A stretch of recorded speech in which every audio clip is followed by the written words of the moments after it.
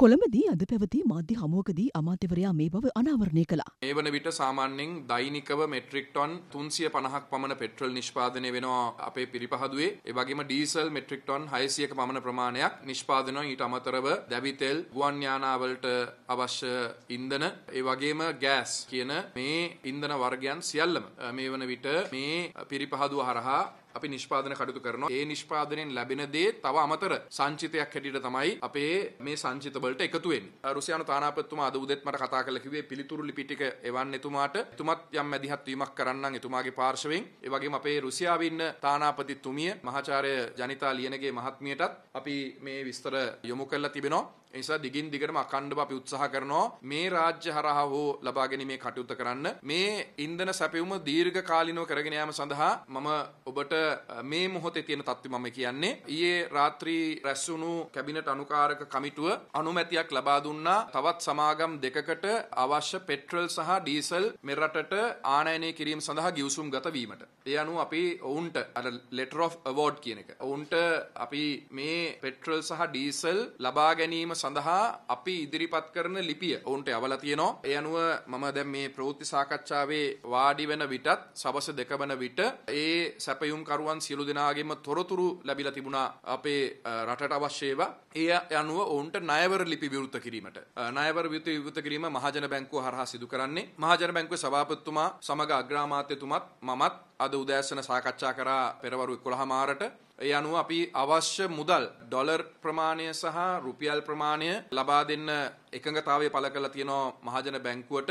එනිසා අපි බලාපොරොත්තු වෙනවා අද දවස තුල ඒ ණයවර ලිපි විවෘත වීමෙන් පසුව අපිට නිශ්චිත වශයෙන් ඊළඟ පෙට්‍රල් සහ ඩීසල් නෞකාව මේ රටට ළඟාවන දිනය ඔබට දැනුවත් කරන්න පුළුවන් කියලා. අපි උත්සාහ කරන්නේ දින 3ක් ඇතුළ තුල පෙට්‍රල් එක නෞකාවක් ලබා ගන්න. අනිත් නෞකා දෙක අපි බලාපොරොත්තු වෙන ණයවර ලිපි විවෘත වීමෙන් පසුව දින 8කින් ඒ නෞකා දෙක ලබා ගන්න. නමුත් මම ඔබෙන් කාරුණිකව ඉල්ලීමක් කරනවා මේක සනාත වෙන්නේ අපිට ණයවර ලිපි විවෘත වීම කියන පණිවිඩය අපිට මහජන බැංකුව ලබා දීමත් සමග. ඒ පිළිබඳව සුබවාදීව අපි හිතනවා අද සවස් කාලේ වෙනකොට ඒ නෞකා තුනටම අයත් ණයවර ලිපි විවෘත කිරීමේ කටයුත්ත අපිට කරන්න පුළුවන් වෙයි කියලා අපි බලාපොරොත්තුෙන් හිටියා යම් ආකාරයක ඉන්දියානු ණය ක්‍රමේ තුන්වෙනි කොටස.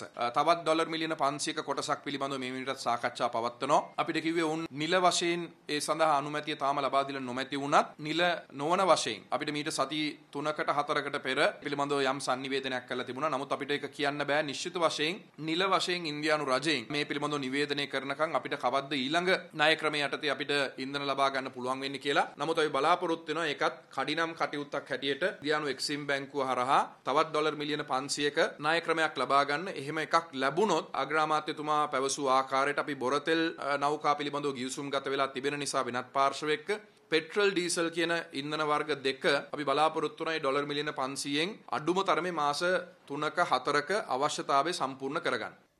නඩත්තු කටයුත්තක් සඳහා නොරොච්චෝලේ විදුලි බලාකාරය තාවකාලිකව වසා දැමීම පිළිබඳවද අමාත්‍යවරයා අදහස් පළ කළා. නොරොච්චෝලේ බලාගාරය අවුරුදු දෙකක් තිස්සේ යම් නඩත්තු කටයුත්තක් වෙනුවෙන් යෝජනා කළ තිබුණේ. නමුත් චීනයේ තිබුණු විශේෂයෙන්ම නිරෝධායන නීති. මේ කටයුතු නිසා උන්ට පැමිණීමට නොහැකි වුණා පහුගිය කාලේ. නමුත් අපි බලාපොරොත්තු වෙනවා 18 වෙනිදා දවසේ නොරොච්චෝලේ බලාගාරයේ 1 මෙගාවොට් 300ක ධාරිතාවක් යුතු එක බලාගාරයක් නඩත්තු වසා දමන්න. ඒ කටයුතු අවසන් වුණාම දෙවැනි එක නඩත්තු කටයුතු වලට වැහෙනවා. ඒ කියන්නේ සාමාන්‍යයෙන් දින 70ක් පමණ නොරොච්චෝලේ බලාගාරයේ මෙගාවොට් 300ක් ආසන ප්‍රමාණයක්. අපේ විදුලි බල පද්ධතියෙන් අපි ඉවත් වෙනවා. හැබැයි මම දැක්කා සමහර ඉංජිනේරුවෝ කියලා තිබුණා. එහෙම වුණාම පැය ඊට වැඩිය ගාණක් විදුලිය කප්පාදු කරන්න බලාපොරොත්තු වෙනවා කියලා. නමුත් මම දන්න විදිහට මට දීලා තියෙන තොරතුරුත් එක්ක දැනට තියෙන ජල විදුලිය සහ දැනට තියෙන දැවිතෙල් බලාගාර වලින් තියෙන සුළං සහ අනෙකුත් පුනර්ජනීය බලශක්ති බලාගාර වලින් මීට වඩා පැය ගාණ වැඩි නොකර විදුලිය කප්පාදු නොකර කළමනාකරණය කිරීම සඳහා තමයි අපි සැලසුම සකස් කරලා තියෙන්නේ. දිවයින අසන්නයට ළඟා වී තිබූ ඩීසල් නෞකාවෙන් ඉන්ධන ගොඩබෑම අද රාත්‍රී ආරම්භ කරන බව විදුලි බල හා බලශක්ති අමාත්‍යංශය පවසනවා. එය ඩීසල් මෙට්‍රික් ටොන් හතලිස් දහසක් රැගත් නෞකාවක්. ලංකා කංජතෙල් නීතිකත සංස්ථාව දෛනිකව පාරිභෝගිකයන්ට බෙදාහැරීම සඳහා සිපෙට්කෝ ඉන්ධන පෙරුම් හල්වෙත නිකුත් කරන ලද පෙට්‍රල් ඩීසල් හා බොමිතෙල් ඇතුළු සියලුම ඉන්ධන පිළිබඳව ජනතාවගේ දැනගැනීම පිණිස එදිනම සංස්ථා වෙබ් අඩවිය පළ කරනු ඇති. www.sipetco.gov.lk වෙතට පිවිස තොරතුරු විමසිය හැකි. එමෙන්ම සිලොන් පෙට්‍රෝලියම් කෝපරේෂන් ෆේස්බුක් පිටුවේද විස්තරතැයි එම සංස්ථාව නිවේදනයක් නිකුත් කරමින් ප්‍රකාශ කළා. නාගරික මෙන්ම ග්‍රහමිය ප්‍රදේශවලද ඉන්තන පිරුම් හල්ලසල දිගු පෝලිම් තවදුරට දක්නට ලැබෙනවා. මේ වන විට අත්‍යවශ්‍ය සේවා සඳහා ප්‍රමුඛතාවේ ලබා දෙමින් ඉන්දන නිකුත් කරන බවයි වාර්තාවන්නේ. බොහෝ ඉන්දන පිරුම්හල් අසල කිලෝමීටරයකට වඩා දිගු පෝලිම් දක්නට ලැබෙනවා. ලංකා කංජතෙල් නීතිකත සංස්ථාවේ වෙබ් අඩවිය සඳහන් ඉන්දන පිරුම්හල් අසල පමණක් රැඳී සිටින ලෙසයි සංස්ථාව ජනතාවගෙන් ඉල්ලා සිටින්නේ. පාරිභෝගිකයන් වෙත ගෘහස්ත ගෑස් සිලින්ඩර බෙදාහැරීම අද දිනිය සිදු නොකරන බව ලීත්‍රෝ ගෑස් සමාගම පවසනවා. එහෙත් රෝහල් ආදාහනාගාර ඇතුළු අත්‍යවශ්‍ය සේවා සඳහා ගෑස් බෙදාහැරීම සිදු කරනවා. ගෑස් රැගනීමට විල්බරෝවක හිස් සිලින්ඩරයක් පටවාගෙන ඉන්දන පිරුම්හල වෙත ගමන් කරමින් සිටි පුද්ගලයෙක් අද උදැසන මිය ගොස් තිබෙනවා. එසේ මියගොස් ඇත්තේ පෝගොඩ ප්‍රදේශය පදිංචි හැට හතර හැවිරිදි අවිවාහක පුද්ගලයෙක්. පානදුර වෑකඩ පිහිටි ඉන්දන පිරුම්හල අසල පොලිමේ සිටි පුද්ගලෙකු අද අලියුම ත්‍රීරෝධ රථයේදීම මිය ගොස් තිබෙනවා. ඔහු වයසවුරුදු පනස් පහක තෙදරුපියෙක්. බණ්ඩාරගම නගර ඉන්දන පිරුම්හලක අදාලියම නොසන්සුන්කාරී තත්ත්වයක් උද්ගතව තිබෙනවා. තත්ත්වය පාලනය කිරීමට යුදහමුද අතරයක බට පිරිස් කැඳවා ඇතයි වාර්තාවනවා. බෝගත ටැන්කේ අත්‍යවශ්‍ය සේවා සඳහා ඉතිරිකර තිබිය යුතු ලීඩර හයිසියක සීමාවට ළඟාවීමත් සමග ඉන්දන බෙදාහැරීම අත්හිටුවූ විටයි පාරිභෝගිකයන් විරුද්ධය බලකොට ඇත්තේ.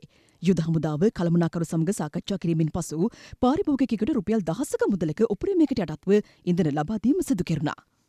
වීමෝල් කරුවන් හිඟයක් මවාපාමින් සහල් මිල ඉහළ දැමීමට උත්සාහ කරන බව වාරිමාර්ග ගොවි සංවිධානයේ ලේකම් පුංචිරාල රත්නායක මහතා පවසනවා. මාධ්‍ය හමුවක් ඇඳවමින් ඔහු මේ බව කියා සිටියා. ගිය මාස්කන්නේ වී රුපියල් අනූපහේදල එකසිය දහයට තම ගිය මාස්කානි සමත්තරටීම වී ගත්තේ මහා පරිමාණ මෝල් හිමියන්. තොට මේ මහා පරිමාණ මෝල් හිමියන් ඒ අනූපහේදල එකති දහයට ගත්ත වීටික අද එකසිය පණහ කරලා වීමිල එකසිය පණහ කරලා හාල් මිල රුපියල් දෙසිය හැටයි දෙසිය හැත්තෑවයි තොට මේ ගිය මාස්කන්නේ රුපියල් අනූපහට එකසීයට එකසිය පහට එකසිය දහයට ගත්ත වීයොල හාල් තමා අද දෙසිය හැටට දෙසිය හැත්තෑවට වෙළඳ පොලේ විගුණන්නේ මේක ගොයියටත් නැතුව පාරිභෝගකයටත් නැතුව මහා පරිමාණ මෝල් හිමියන් අට දැම් මේ ලාභය යන්නේ. මේ මහා පරිමාණ මෝල් හිමියන් මේ වෙනකොට මෙක්ටිටුන් ලක්ෂ ගානක ඔවුන්ගාව තියනවා ගබඩා කරගන වී. වෙයි ඔයවතාම එලියට ඔවුන් දාන්නේ. ඒව එලියට දාන්නේ තව මාසයක් දෙකක් ගියාට පස්සේ තමයි එලියට දාන්නේ. එතකොට තවත් හාල් මිල වැඩි වෙනවා. පාරිභෝගික සේවා අධිකාරියක් තියෙනවා. සභාපතිවරයෙක් ඉන්නවා. ඒ පාරිභෝගික සේවා අධිකාරියා සභාපතිවරයා මේකට මැදිහත් වෙලා මේ ගැන හොයලා බලන්නේ නැහැ.